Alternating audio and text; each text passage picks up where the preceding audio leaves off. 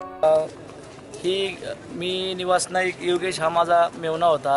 साधारण तीस तारखेला साडे अकरा वाजता तिकडून सुभेदार नागपुरी साहेबांचा आम्हाला फोन आला. चिता हेलिकॉप्टर हे क्रॅश झालं म्हणून. म्हणजे त्यांनी तर सांगितलं नव्हतं सुरुवातीला बुवा फक्त अपघात झाला म्हणून सांगितलं. पण नंतर तिथं एक एक तारखेला आम्ही सकाळच्या विमानाने गेलो. बागदोडाला इथं एम एसला तिथं त्यांनी ॲडमिट केलं होतं. तिथं त्यांनी आम्ही घटनाक्रम सांगितलं. तीन अधिकारी आणि माझा मेवना योगेश न लॉन्स नाय नाईक. तर हे चौघजण अ, करण्यासाठी तिकडे सिलिगुडीहून येत होते तिकडून आणि येताना ते पंखा त्याचा सुरुवातीला उडून नंतर ते क्रॅच झालं. आणि लगेच तिथं त्यांनी दुसऱ्या हेलिकॉप्टरने नेऊन एम एसला त्यांनी बागदोड्याला उपचार सुरू केले. साधारण सहा दिवस त्यांनी उपचार सुरू केल्यानंतर योग्य म्हणजे, म्हणजे मी स्टेबल झाला. बी पी आणि व्यवस्थित. मग तिथून आम्ही वायुसेनेचं विमान के करून तिथून कलकत्ताला कमांड हॉस्पिटलला ति ॲडमिट केलं सहा तारखेला. आणि सहा तारखेनंतर तर दहा अकरा दहा दहा तारखेपर्यंत त्याची तब्येत स्टेबल होती. नंतर अकरा तारखेला बी पीचा थोडा त्रास झाल्यामुळं आणि मेंदूला बी जास्त मार लागल्यामुळं त्याचं श- रविवारी पाच वाजून पंधरा मिनिटांनी शेवटचा श्वास त्यांनी घेतला.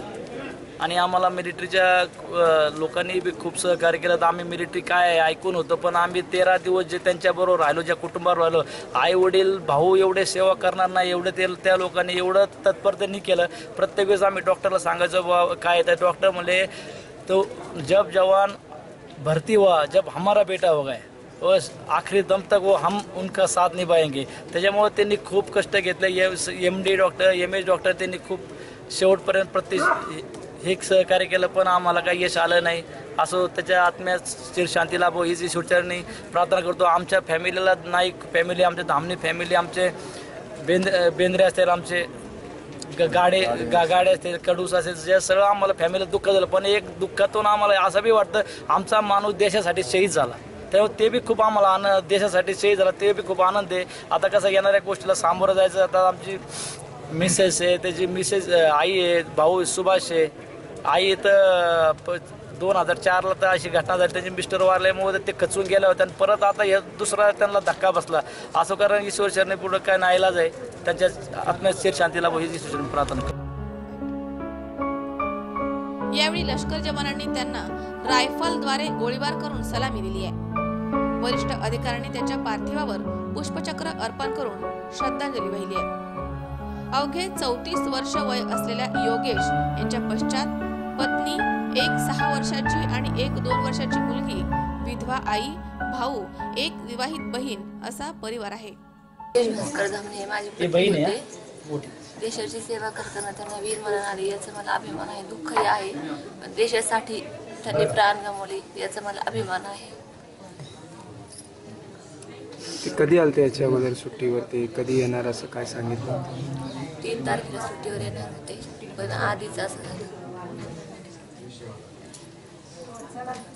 याआधी तीन महिन्यापूर्वी सुट्टीवर आले होते. ज्यावेळेस सुट्टीवर आले मागच्या वेळेस तेव्हा साडेचार महिने झाले होते त्यांना सुट्टीवर आलेले. आता पुढची सुट्टी कधी काढणार होते? काय असं बोलले? आता येणार होते तीन तारखेला या गेलेल्या तीन तारखेला. तीन डिसेंबर. तीन डिसेंबरला सुट्टीवरती येणार होते पण त्या आधीच तीस नोव्हेंबरला अशी घटना झाली. ठीक. देशाला दिला मी. मला मग दुःख पण दिला देवाला. अभिमान अभिमानी मला. देशासाठी. देशाला दिला मी.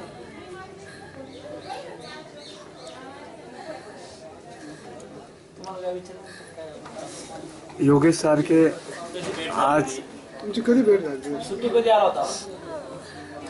गणपतीच्या टायमाला आला होता. ऑगस्टमध्ये आला होता. मला म्हणला जानेवारीमध्ये येईल. आता ते तिकडंच झालं शहीद देशासाठी दिलं.